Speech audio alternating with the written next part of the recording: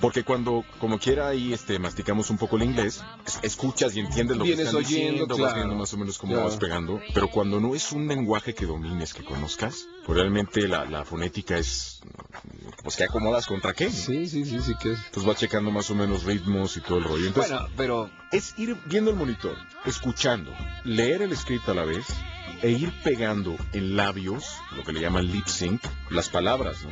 Luego ves doblaje, es muy interesante ver doblaje americano, por ejemplo, norteamericano, de, de películas asiáticas. Dice, come on, fight. Y tú dura moviendo como dos Sí. segundos después la boca, ¿no? I'm gonna kill you. Oye, pero a ver, Mario, aquí tienes una ventaja. Tú, tú de alguna forma tienes desarrollado oído musical. Bueno, pues, pues sí, me, me ayudó sin duda, me ha ayudado mucho. Ese es uno de los elementos que ayudan mucho en esto, ¿no? Tener un buen oído. Sí, vaya, es que hasta en eso nos parecemos, ¿no?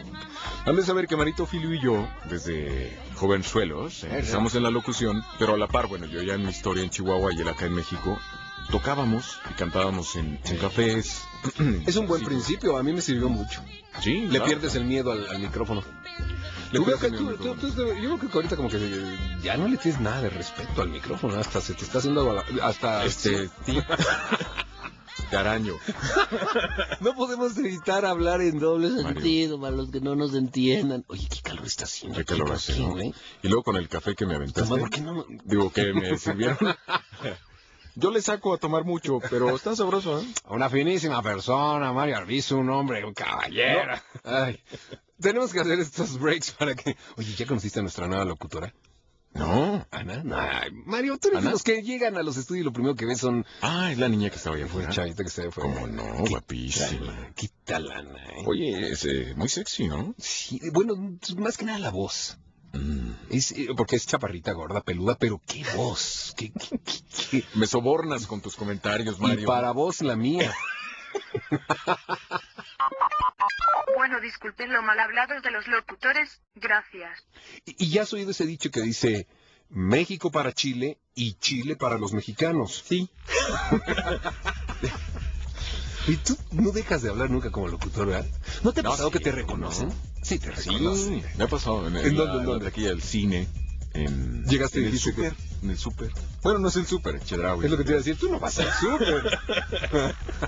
qué tarado, güey. Chedraui. Ajá. ¿Y qué, qué, qué dijiste?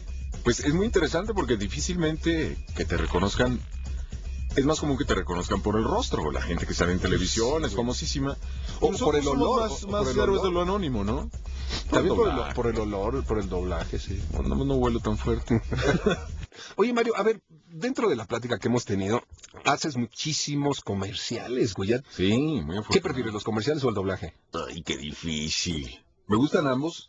Pasa algo muy peculiar porque son como inversamente proporcionales. Me explico ahora. A ver. En la locución comercial hay más plata. Ganas mucho mejor grabando comerciales que haciendo doblaje. Esa es una verdad Sí, conocida. sí, sí. Sin embargo, el comercial sale, lo que está pautado que salga en la tele, en la radio, termina su periodo y ya, acabó, se lata y, y es, es publicidad muerta, ya no sirve. Claro. Porque están cambiando promociones, cambian cosas, proyectos, Sí, sí, sí, corta vida. Y el doblaje, en cambio, hoy por hoy podemos ver películas, series de televisión, dobladas por gente, deja tú que las grabó hace tanto tiempo, gente que falleció hace más de 20 años Y que perdura su voz. y que perdura su voz. ¿Qué te gusta de música a ti? ¿Qué, qué no- qué es lo que normalmente escuchas? Mm, pues yacecito, me gusta el pop, me gusta bastante pop, pop en inglés. ¿Cómo qué? ¿Cómo qué? ¿Cómo qué? Aquí te Mm. vamos a conceder tus, tus deseos. Dime una rola y la vas a tener en el momento, para que veas la producción. Una rola así que... que Eh, tú me- me dímela, tú dímela, tú dímela, dímela, dímela. Wish You Were Here, de Pink Floyd. Ahí está, ¿qué tal? ¿Eh? ¿Así de rápido? Vale, Marito. Uh, uh. Ese salcido, eres una bala. Sí, producción, el Salcido está bravo. Qué buena rola. Y, y bueno, por ejemplo, Mario, ¿tú qué influencias crees que, que, que te marcaron en tu vida para hacer lo que hoy en día haces? ¿Qui- ¿Quiénes podrían haber sido así tus, tus paladines? Yo sé que esta pregunta te la han hecho seguramente. A mí me la han hecho y tengo muy claros así quiénes, quiénes fueron en... en- y a, lo mejor no me sabía los nombres, pero sí los escuchaba yo en la radio o, en el doblaje.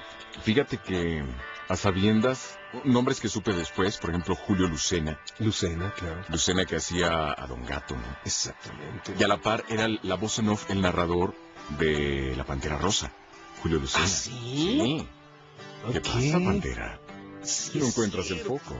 ¿Te acuerdas? Sí, es el mismo cierto. Julio Lucena. Oye, Matute, ¿qué hacía, no? El, el jefe del, del Don Gato, sí. sí, sí. Don Jorge Arbizu. Ah, el Tata, que no Siempre la, pregu- que la pregunta Jorge. obligada es, te preguntan, ¿es algo de don Jorge? eres familiar, seguramente.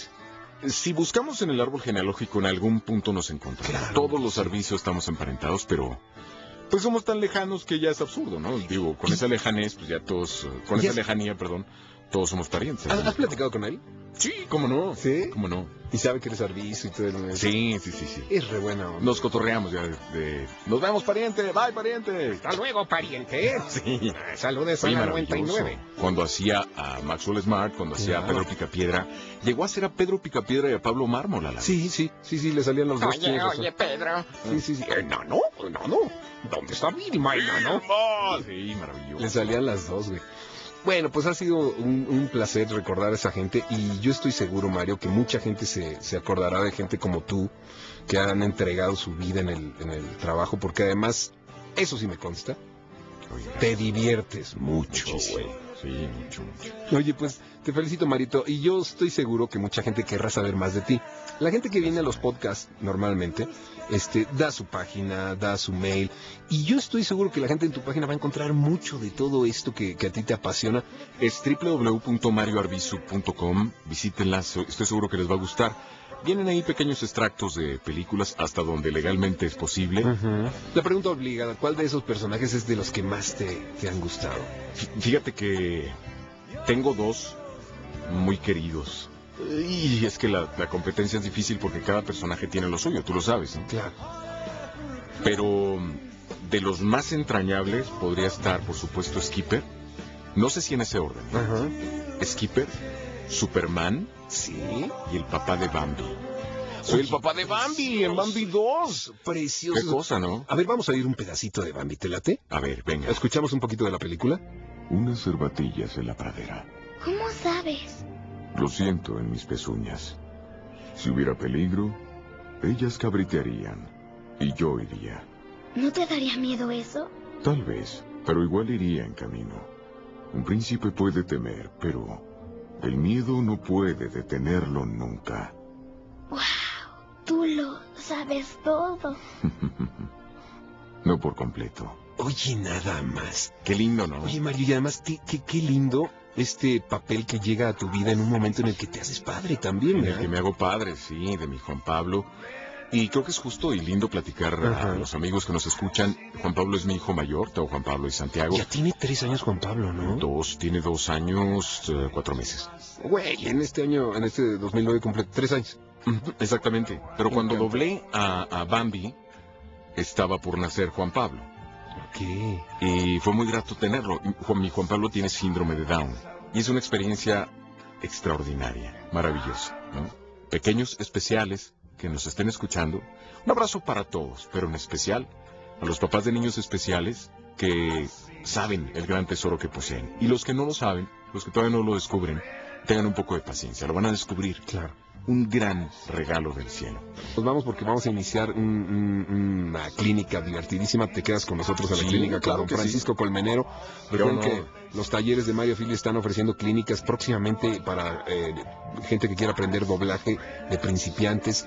También tendremos otra de publicidad y locución eh, para principiantes. Y bueno, como siempre, rodeados y, re- y llenos de amigos tan, tan queridos como tú, Marito. Oye, igualmente, Mario. Honrado de estar aquí. Te abrazo, te, te quiero mucho, amigo. Gracias por No, lo sabes, somos tocallitos y somos hermanos, así que Sí, señor. gracias por estar. Regresa cuando quieras. Gracias. Y otro día platicamos de, este, de más cosas de, de comerciales. y para seguir albureando. ¡Qué horror! A seguir albureando, May. Bueno, hasta luego. Nos vemos. güey. Chao.